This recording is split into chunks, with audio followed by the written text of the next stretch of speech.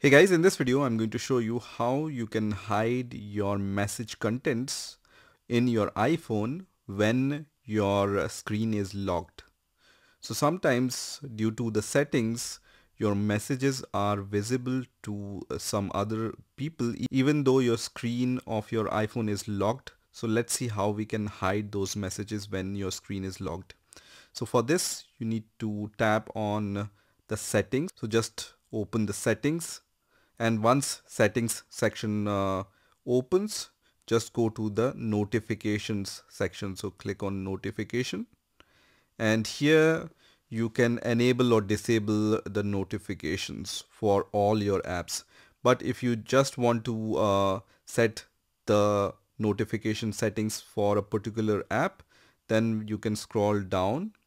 And then here you will be able to see the messages app. So let me just find the messages app here. And here either you can disable all notifications. So here on the top you can see allow notifications.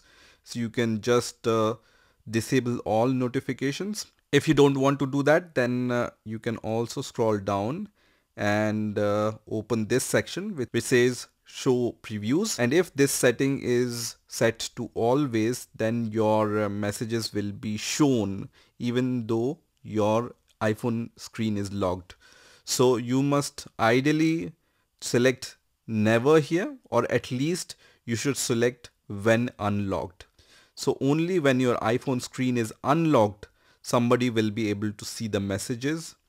If you select always then even though your screen is unlocked he will be able to see your messages so I generally uh, choose the default setting which is when unlocked. But if you want to be on the safer side then you can also choose the never option here. So this is how you can uh, hide your messages content in the notification section when your screen is locked.